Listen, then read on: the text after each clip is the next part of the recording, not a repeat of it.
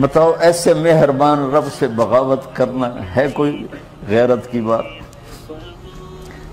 چند روزہ زندگی کے پیچھے، چند ٹکوں کے پیچھے، چند پیسوں کے پیچھے۔ یا عبادی یا عبادی۔ اوہ ایک اور حدیث آپ کی برکت سے یاد آئی بڑے زمانے کے بعد۔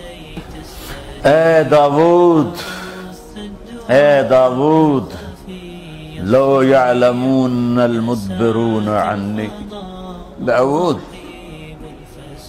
داود علیہ السلام، اگر ان میرے نافرمانوں کو پتہ چل جائے نا، میں ان سے کتنا پیار کرتا ہوں، ان کے کلیجے پھٹ جائیں۔ اگر ان نافرمانوں کو پتہ چل جائے کہ میں ان سے کتنا پیار کرتا ہوں، ان کے کلیجے پھٹ جائیں۔ داود جب نہ فرمانوں سے اتنا پیار کرتا ہوں تو فرما برداروں سے کتنا کرتا ہوں؟ آگے بات کیا کی ہے؟ کہ ساری دنیا نے تمہیں جہنمی بنا دیا ہے۔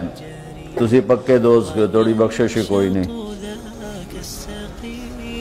لیکن میں تمہارا رب، جس کی تم نے زندگی میں ایک دفعہ بھی نہیں مانی، میں تمہیں خوشخبری دے رہا ہوں۔ لا تقنطوا من رحمت اللہ۔ میری رحمت سے نا امید نہ ہونا، میرے در پہ آ جانا۔ ان اللہ یغفر الذنوب جميعا انہو هو الغفور الرحیم۔ تم میرے در پہ آ جانا۔ تمہارا آنسو نکلے نہ نکلے۔ ایک ہائے مجھے کہہ کے کہہ دینا، ہائے اللہ مجھے معاف کر دے۔ کہ تمہارے جسم پر مچھر کے پر کے برابر بھی گناہ کا نشان نہیں چھوڑوں گا۔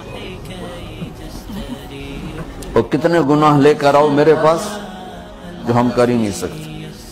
میرا رب کہتا ہے، لو بلغت ذنوب کا عنان السما، کہ یہ ہے گلاسگو کا فرش۔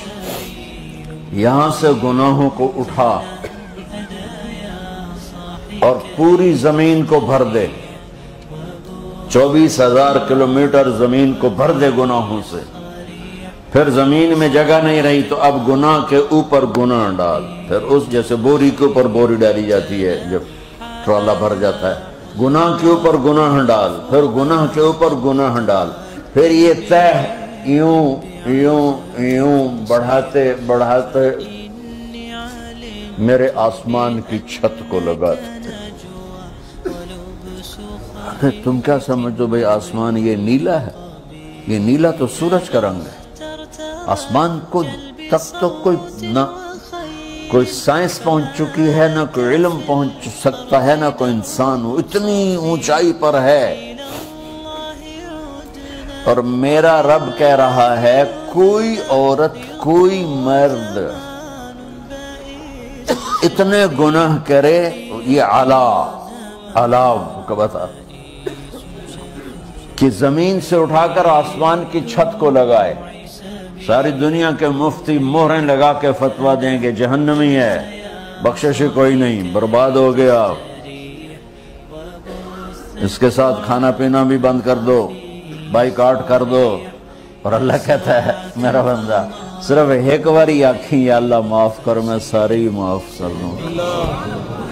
سو باری نہیں، سو دی تصویر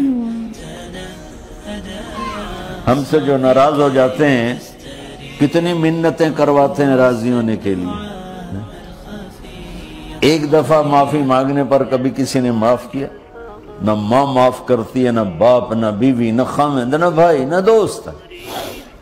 اور باتیں بھی چھوٹی چھوٹی ہوتی ہیں اور میرا اللہ کہہ رہا ہے کہ یہاں سے لے کر آسمان کی چھت تک تیرے گناہ ہوں اور تو صرف آدھی زبان سے کہہ دے یا اللہ معاف کر کہ میں سارے معاف کر دوں